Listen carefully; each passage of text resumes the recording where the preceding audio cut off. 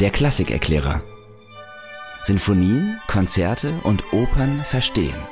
Ein Rondo-Podcast. Mit Dariusz Schimanski.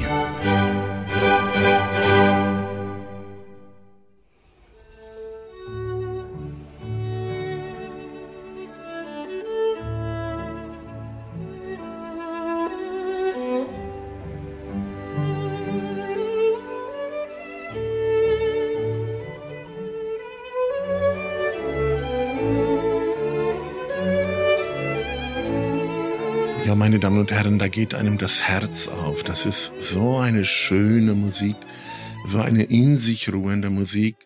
Das ist eines der wenigen Stücke von Tchaikovsky, der wenigen positiven, optimistischen Stücke von Tchaikovsky, die wirklich auch ganz große Musik sind. Man hat manchmal das Gefühl bei Tchaikovsky, dass Tchaikovsky ihm am besten war, wenn er wirklich gerade sozusagen gegen den Tod gekämpft hat oder gegen das Schicksal. Aber hier war ihm mal das Schicksal gewogen äh, in der Person von Josef Kotek. In den Kotek war er auch verliebt und die hatten wohl eine Beziehung, eine Affäre, die sehr glücklich verlaufen ist. Äh, das war bei Tchaikovsky eher wohl die Ausnahme als die Regel.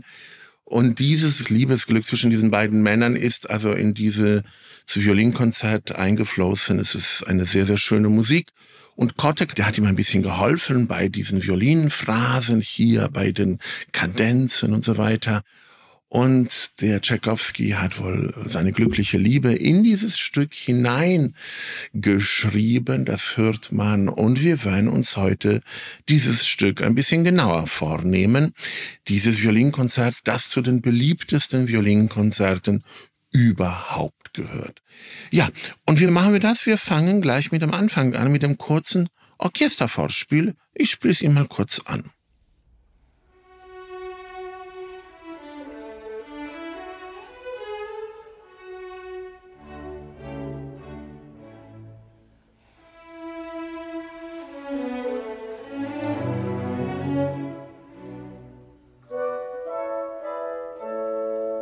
Das klang doch wirklich wie Ballettmusik, meine Damen und Herren.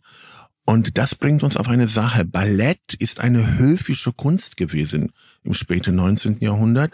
Der Zarenhof hatte eine große Ballettkompanie und diese wurde immer unglaublich aufwendig ausgestattet. Und ich habe schon Zarenhof gesagt, wir müssen ein bisschen jetzt zur Politik kommen. Die spielt immer eine Rolle.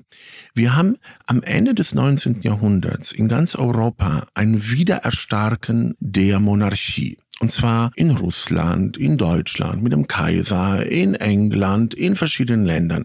Und das war ein Widerspruch, denn man hat auf der einen Seite Emanzipationsbewegungen im Bürgertum. Die Leute werden eigentlich immer demokratischer, immer selbstbewusster, immer reicher auch. Es gibt immer mehr reiche Bürger, die auch natürlich politische Macht haben wollen. Und auf der anderen Seite gibt es dieses Kaisertum, dieses Wiedererstarken des Kaisertums in der Moderne. Und das ist eigentlich ein Widerspruch. Und die Kunst hat immer versucht, diesen Widerspruch irgendwie aufzufangen. Tchaikovsky hat sich überlegt, wie kann eine typische russische Musik klingen, die gleichzeitig eine zaristische Musik ist. Und das bedeutete für Tchaikovsky, dass Tchaikovsky eine Art modernen Stil schreiben wollte, der gleichzeitig aber ein höfischer Stil war. Das war wichtig. Und dazu schaute er sich Mozart an. Mozarts Musik. Mozart war das große Vorbild von Tchaikovsky.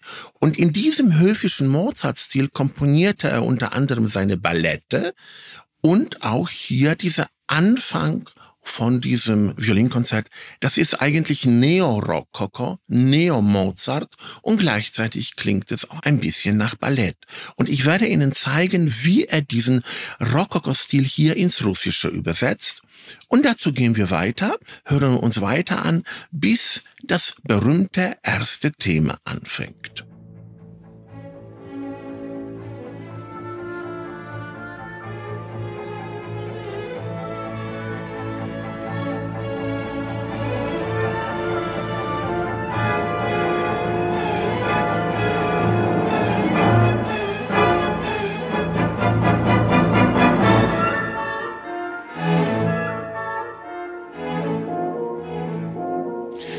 Kleine Kadenz, eine Solo-Kadenz. Die Geige stellt sich vor.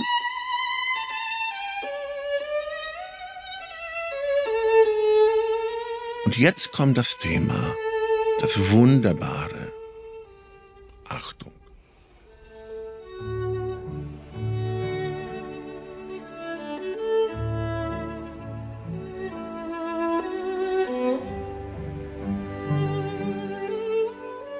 Denkt man sofort, das ist ein typisch Tschaikowskisches Thema.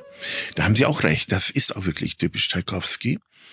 Aber es ist noch ein bisschen mehr. Wir schauen uns mal dieses Thema unter dem rhythmischen Aspekt an. Und wenn man diese Melodie tan, tan, ta, da, da, da, dan, da, dan, dass sich nur den Rhythmus anguckt, ist der Rhythmus pam, pam, pa, pa, pa, pa, pam.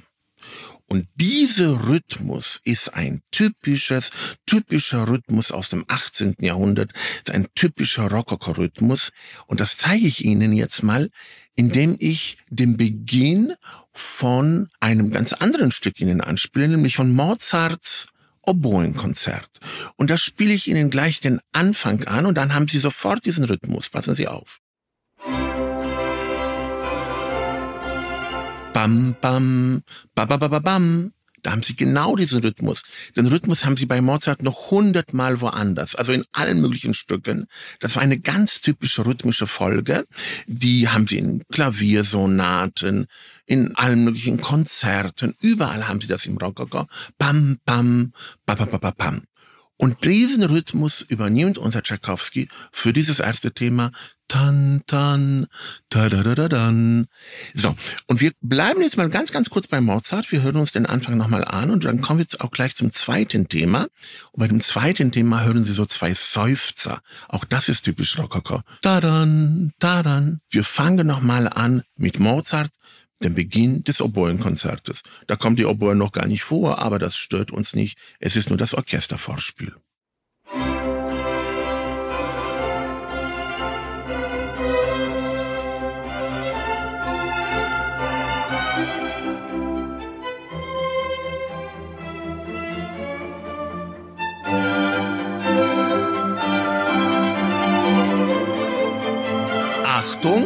Zweites Thema jetzt. Pam, paran, taran, diese typischen Rokoko-Seufzer. Ich habe sie in dem zweiten Thema gezeigt, weil wir auch nämlich bei Tchaikovskis Violinkonzert im zweiten Thema Rokoko-Seufzer haben werden, die dann romantisiert sind. Und da können Sie hören, dass das wirklich aus dem 18. Jahrhundert kommt und bei Tchaikovsky in seinen Stil quasi übersetzt wird. Und nachdem ich so viel erzählt habe und wir viele kleine, kurze Stücke uns angehört haben, werden wir jetzt ein größeres musikalisches Stück uns anhören, und zwar nämlich den ganzen Beginn von Tchaikovskis Violinkonzert. Mit diesem Neo-Rokoko-Anfang, wo wir sofort in einer Art Mozartschen Welt sind, dann der Überleitung mit der Solokadenz zu diesem ersten Thema, Pam, Pam, Babababam. Und das ist hier ein sehr lyrisches Thema und deswegen muss es in der Überleitung immer dramatischer werden. Dieses Dramatische ist wie so ein Pfeffer, ist wie ein zusätzliches Ge Gewürz. Wir haben erstmal ein, das lyrische Thema, das nenne ich jetzt Thema 1a und dann wird es ein bisschen witziger, das nenne ich dann 1b und dann steigert sich die Dramatik es wird immer dramatischer. Warum wird das dramatischer? Damit ein Höhepunkt entsteht. Und nach dem Höhepunkt beruhigt sich die Musik und wir kommen zu dem zweiten Thema. Und dieses zweite Thema ist wieder sehr lyrisch. Es gibt nämlich ein erstes lyrisches Thema und ein zweites lyrisches Thema. Und das wäre sonst zu langweilig und deswegen müssen wir ein dramatisches Zwischenspiel haben. Und bei diesem zweiten Thema haben sie wieder diese schönen Seufzer. Ta da da da da da. So, jetzt hören wir uns das an. Es beginnt mit diesem Rokoko-Anfang.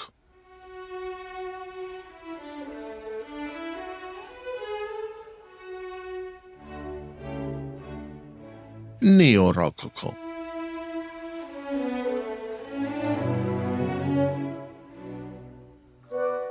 So, und jetzt kommt schon dieser Rhythmus. Pam, pam, parabarabam.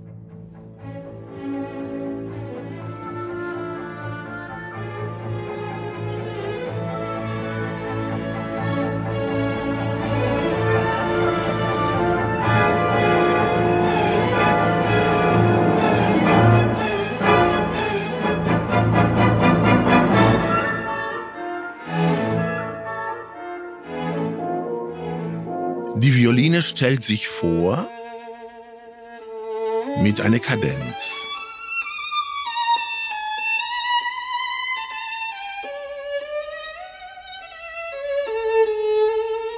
Und jetzt kommt Thema 1a mit dem besagten Rhythmus.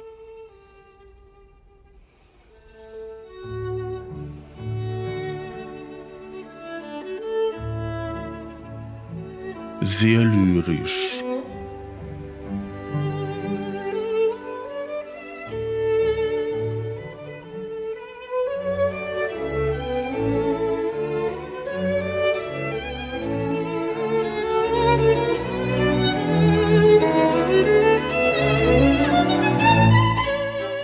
Schon wieder lustiger.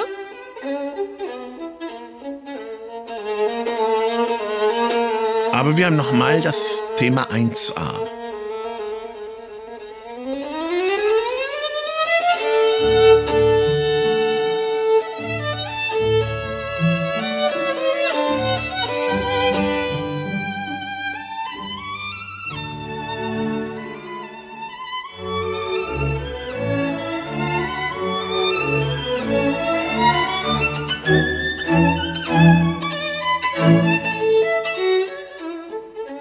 Das Thema 1b. Es ist schon ein bisschen witziger, nimmt Anlauf. 1b.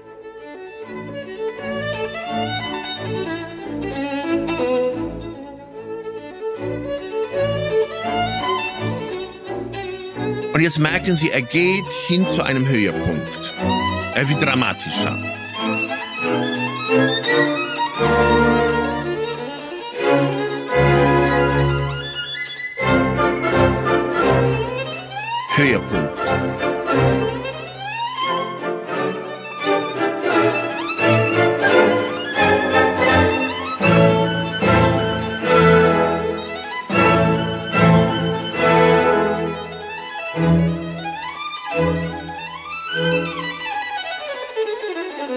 Beruhigt sich die Musik.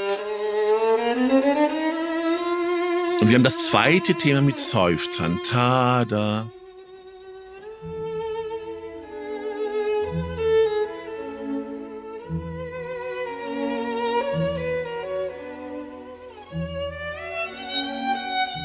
Dieses Stück von Tchaikovsky ist ein typisch spätromantisches Stück. Und spätromantische Musik hat in den ersten Sätzen, und da ist es völlig egal, ob Sie einen Tchaikovsky nehmen, einen Bruckner nehmen oder einen Brahms nehmen, das ist eigentlich bei allen diesen Komponisten so. Es ist immer so, dass im ersten Satz die Charaktere von langsamen Satz, vom schnellen Satz und von einem Scherzo irgendwo vorkommen. Also die ersten Sätze mischen sich aus langsamen, aus schnellen und aus Scherzo-Sätzen und dieses Scherzo-Anteil geht über in die sogenannte Durchführung, in den Mittelteil. Und diese Durchführung beginnt mit diesem ersten Thema, das Sie schon kennengelernt haben, dieses Bam, Bam, Parabarabam. Nur dieses Thema wird jetzt vom ganzen Orchester vorgespielt und dann klingt es wie eine Polonaise im Viervierteltakt. Eine große festliche Polonaise im Viervierteltakt. Normalerweise sind Polonesen, und Tchaikovsky war ein großer Polonesenkomponist, Polonesen sind Stücke in Dreivierteltakt. Bam, pararam, pam, pam, pam, bam, pararam, pam, pam, pam. Aber hier macht Tchaikovsky mal eine Polonese in Viervierteltakt. Bam, pararam, pam, pam, pam, pam, pam, bam, pararam, pam, pam, pam, pam, pam. Und darauf erklingt strahlend das Hauptthema. Diesmal als Polonese. Das hören wir uns nochmal an.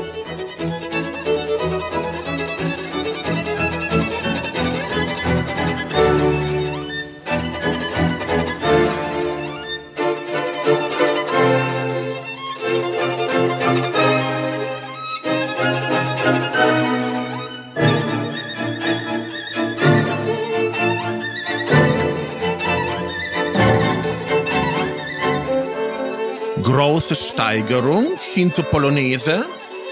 Achtung, jetzt kommt sie.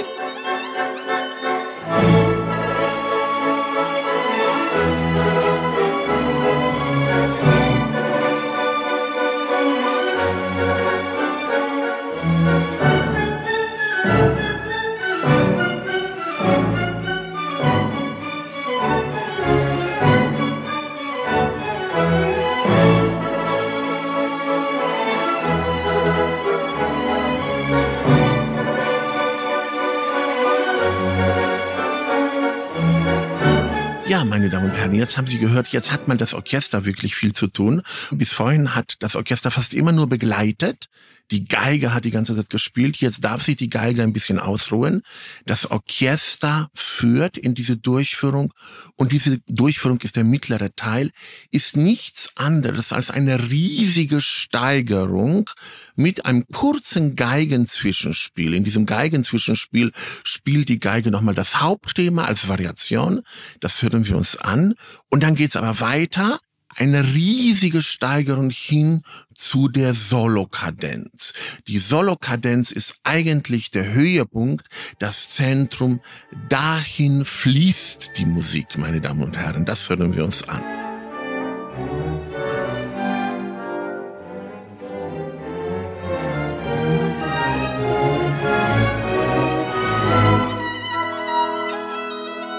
Jetzt kommt eine Variation des Hauptthemas. thank you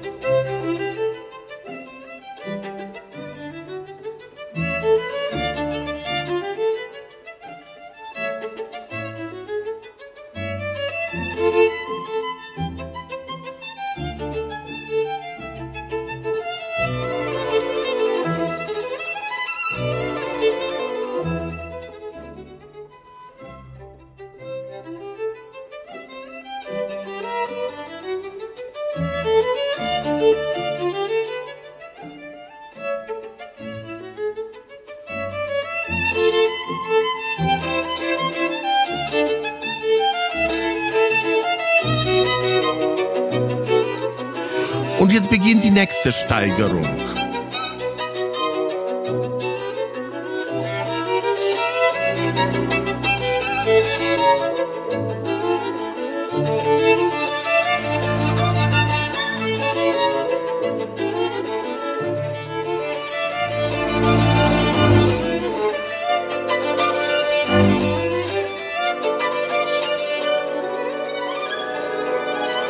Nochmal die Polonaise.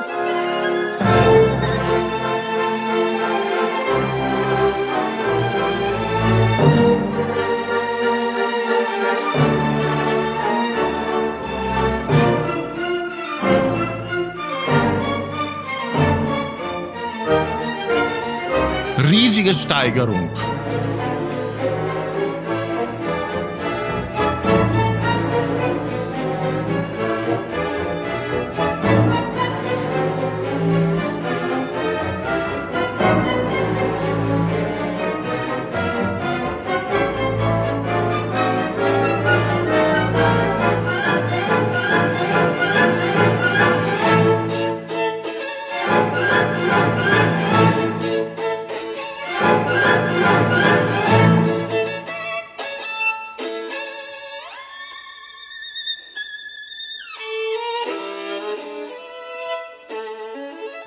hier haben wir die große Solokadenz.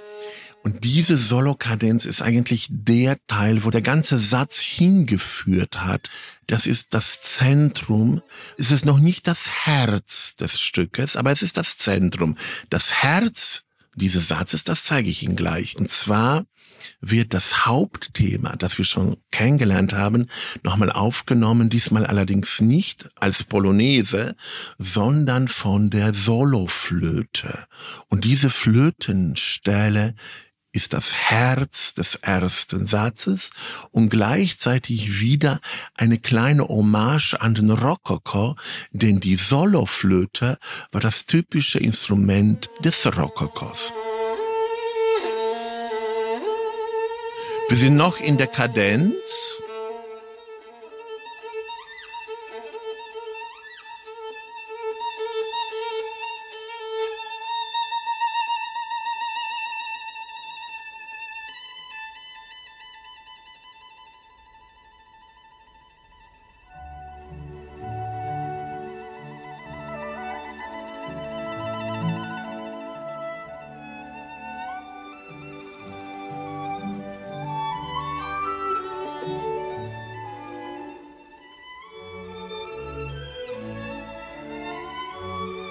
Erste Satz, meine Damen und Herren, war ein unglaublich langer Satz, fast 20 Minuten. Der zweite Satz ist ein ganz, ganz kurzer Satz, ist quasi so ein Zwischensatz, so ein Übergangssatz zum dritten Satz. Aber kürzer hat hier nichts mit Qualität zu tun. Im Gegenteil, eigentlich ist der zweite Satz das Herzstück des ganzen Violinkonzerts. So wie also diese Flötenstelle im ersten Satz das Herzstück des ersten Satzes war, so ist diese kurze, langsame Satz das Herzstück des Violinkonzerts. Und da orientiert sich unser guter Tchaikovsky wie an anderen Stellen auch in diesem Violinkonzert, einem Violinkonzert von Mendelssohn Bartholdy. Auch bei Mendelssohn Bartholdy Violinkonzert ist der langsame Satz der kürzeste Satz, auch der schlichteste Satz. Aber in diese Kürze und in diese Schlichtheit, da ist das Herz drin. Da ist sozusagen das Intimste des Komponisten drin. Und deswegen ist das auch ein besonders, besonders schöner Satz in der Tradition von Mendelssohns Lieder ohne Worte. Das ist hier auch ein Lied, eine Canzonetta, ein Lied ohne Worte. Äh, man kann es fast mitsingen. Es ist ein sehr russisches Lied. Aber Russland ist vielfältig und es ist ein besonderes russisches Lied, denn es steht nicht nur in Moll, es steht in Zigeunermoll. Man muss einfach wissen, da waren in Städten allen möglichen Geiger von Sinti und Romas und die haben diese russische Musik so ein bisschen ihr eigenes Idiom mit der russischen Musik verbunden und da kamen solche Melodien zustande, wie sie jetzt hier im zweiten Satz haben werden. Und das ist diese schöne, schöne Melodie der Violine. Aber bevor die Violine anfängt, haben wir erstmal ein Vorspiel mit Holzbläsern. Und dieses Vorspiel ist typisch russisch. Es erinnert einen sehr an orthodoxe Kirchenmusik. Und wir hören uns erstmal dieses kurze russische Vorspiel, orthodoxe Kirchenmusik und dann der Anfang der Canzonetta, also der Violinmelodie, an.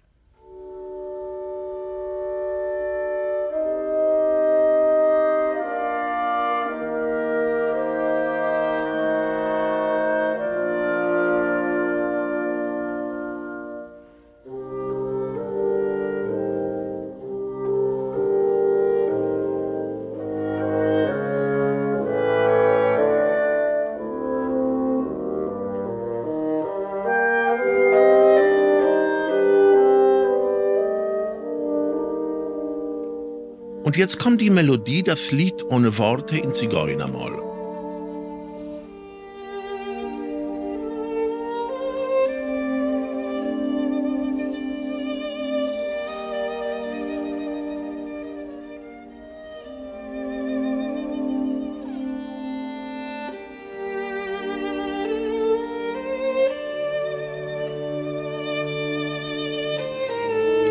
Das war der Anfang. Wir werden das jetzt gleich noch einmal anhören. Und Sie bekommen eine Höraufgabe, eine ganz konkrete Höraufgabe, die nicht ganz einfach ist. Also wir konzentrieren uns zusammen. Sie haben die Aufgabe nämlich, dieses Orchestervorspiel, das nur von den Holzbläsern angespielt wird, sich zu merken. Und das ist nicht einfach, weil wir haben da keine besonders ausdrucksvolle Melodien. Deswegen, was wir uns merken werden, sind so kleine Motive. Und warum sollen Sie sich dieses Orchestervorspiel merken? Dieses Orchestervorspiel wird im Verlauf dieses Satzes versteckt. Es wird in den Streichern versteckt, während die Geige etwas ganz anderes spielt. Und ich möchte, dass Sie aber dieses Orchestervorspiel, wenn es versteckt wird in den Streichern, durchaus hören, dass Sie es entdecken. Denn dann sind Sie sozusagen ein richtig guter Hörer. Wir haben also Orchestervorspiel, das versuchen Sie sich zu merken. Dann diese sehr schöne Melodie in der Geige. Dann haben wir ein Zwischenspiel, der sogenannte B-Teil, ein optimistischeren Zwischenspiel in Dur. Und danach haben wir eine Überleitung, wo sie das Orchestervorspiel in den Streichern haben, versteckt. Und wir versuchen das zu hören. Das probieren wir und dann kommt wieder die Hauptmelodie und dann das Orchestervorspiel. So, jetzt habe ich ganz viel erzählt. Wir hören uns das Ganze mal an, nochmal von Anfang und Sie versuchen sich bestimmte Motive aus dem Orchestervorspiel zu merken. Vor allem dieses Ta-da-dan-dan, Ta-da-dan-dan.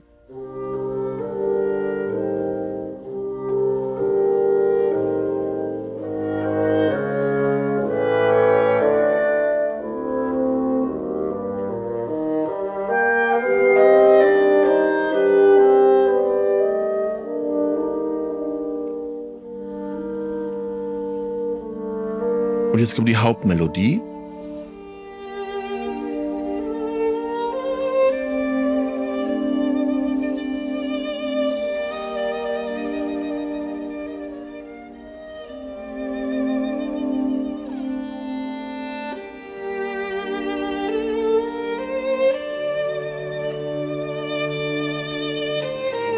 Hier hört man das Zigeunermoll sehr schön.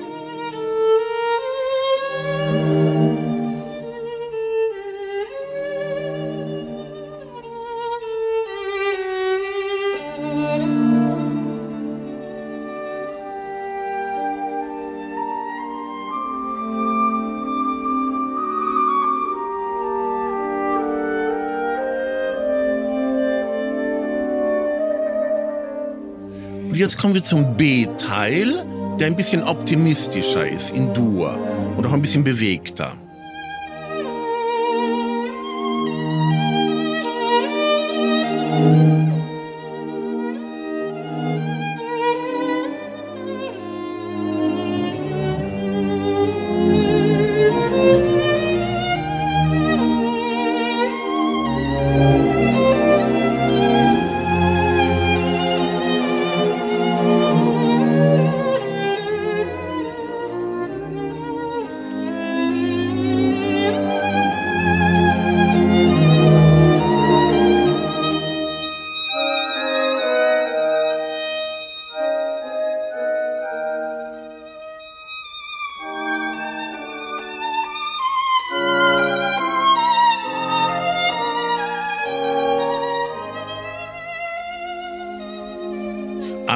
Jetzt bitte ins Orchester hören.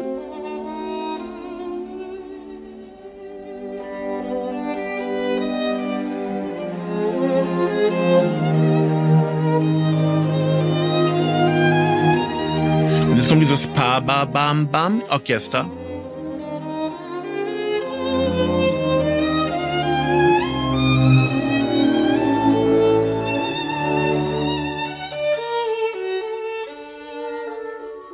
Nochmal unser Hauptthema.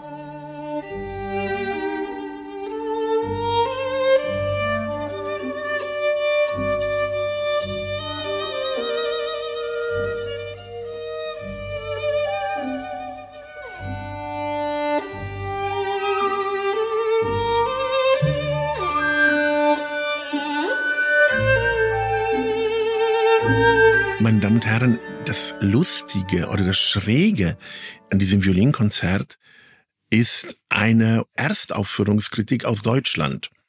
Und zwar vom Eduard Hanslick. Eduard Hanslick war ein ganz strenger Kritiker in Deutschland, im 19. Jahrhundert sehr, sehr bekannt, quasi so der Reich Ranitzky der Musik aus dem späten 19. Jahrhundert in Deutschland und auch befreundet mit Johannes Brahms als Hanslick dieses Violinkonzert das erste Mal gehört hat, hatte eine ganz fiese Uraufführungskritik geschrieben. Er hat nämlich geschrieben, also ich wusste bis dahin nicht, dass Musik stinken könnte. Jetzt weiß ich, also diese Musik, hier könnte man auf die Idee kommen, dass diese Musik stinkt. Und das ist etwas ganz Merkwürdiges, weil niemand, der heute diese Musik sich anhört, würde denken, diese Musik stinke. Aber Hanslick hat das gedacht und es lohnt sich, nicht nur zu sagen, was für ein Idiot, sondern sich zu überlegen, was meinte eigentlich Hanslick damit? Wahrscheinlich meinte Hanslick damit diesen letzten Satz. Da stank es ihm. Und zwar ist dieser letzte Satz ein Jahrmark, ein russisches Fest, und das ist eine sehr wilde Musik mit sehr extremen Klangfarben. Äh, und diese Art von Wildheit, die kannte man in der deutschen Musik und bei Brahms jetzt so nicht. Und unser Hanslik hat hier wahrscheinlich so ein bisschen beim Hören das Bratenfett gerochen und auch vielleicht die Wodka-Dünste. Auch wenn man heute dieses Violinkonzert sich anhört, da müssen Sie wissen, alle Violinstudenten üben dieses Violinkonzert schon in ihrem Studio und sie haben es mehr oder weniger richtig gut drauf, weil die Geigentechnik sich weiterentwickelt hat. Aber als Tchaikovsky das komponiert hat, war speziell auch der letzte Satz, das war fast unspielbar für die Leute. Das heißt, Sie müssen wissen, diese Geigenstellen klangen viel kratziger wahrscheinlich und längst nicht so sauber, wie sie heute klingen, aber sie sollten auch so kratzig und nicht so sauber klingen. Ein Komponist weiß schon, warum er manchmal etwas bis an die Grenzen der Spielbarkeit bringt, weil es soll stinken, es soll ein bisschen hässlich sein. Es ist ja immerhin ein Russ russisches Volksfest. Und da hat man sich betrunken. So, und genau das hat der gute Hanslik dann gehört. Und wenn heute das Ganze perfekt vorgespielt wird, ja, dann ist das noch immer noch ein schönes Stück, aber es stinkt nicht mehr so viel. Das muss man einfach wissen. Vielleicht noch eines, äh, ganz wichtig. Wir haben im ersten Satz die Übersetzung des 18. Jahrhunderts, des Rokoko-Idioms, des höfischen Idioms ins Russische von Tchaikovsky. Jetzt im letzten Satz sind wir wirklich in der Gosse gelandet, weil dieses, ja, diese Volksfest, das spielt sich in der Gosse, aber da sind sie alle besoffen.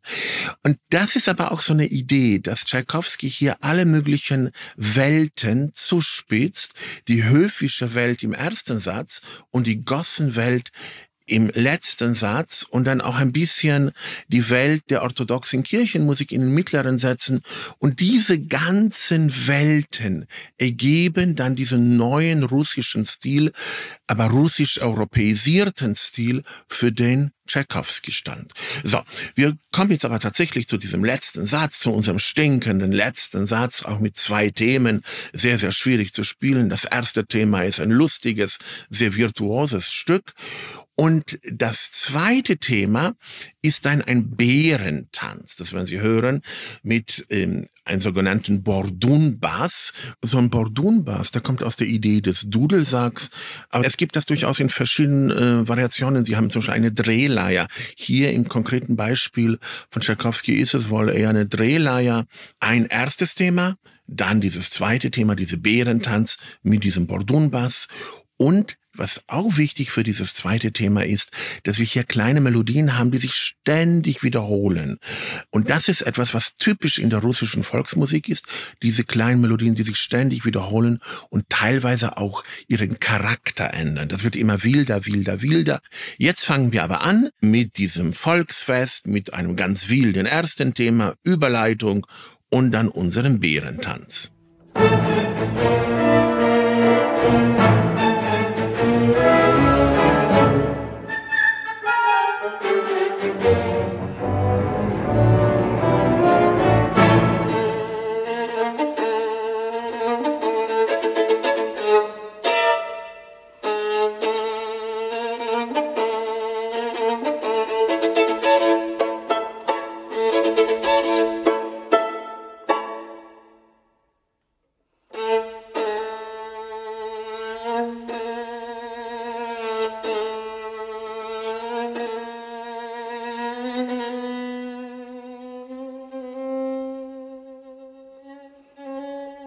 So, jetzt kommt das erste Thema. Und zwar jetzt.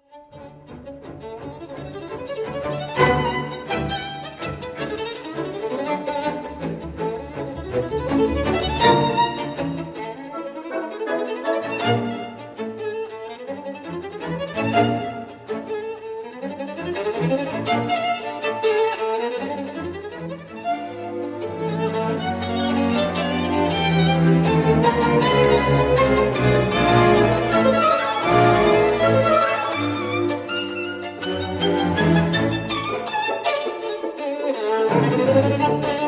das erste Thema.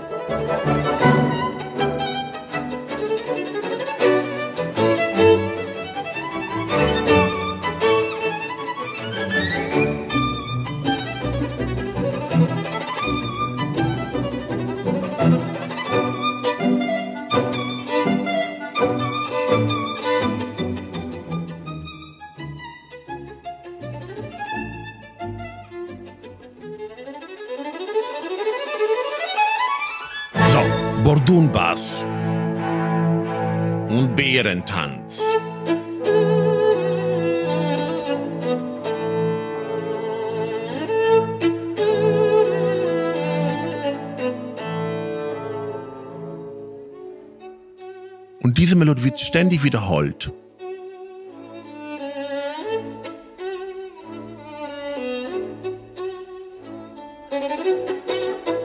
Immer Wiederholung.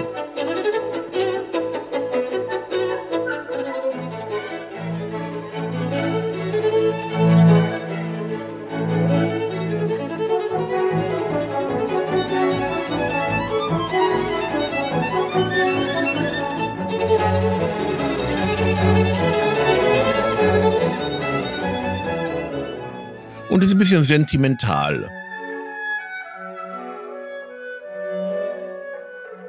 Ist aber immer noch die Wiederholung.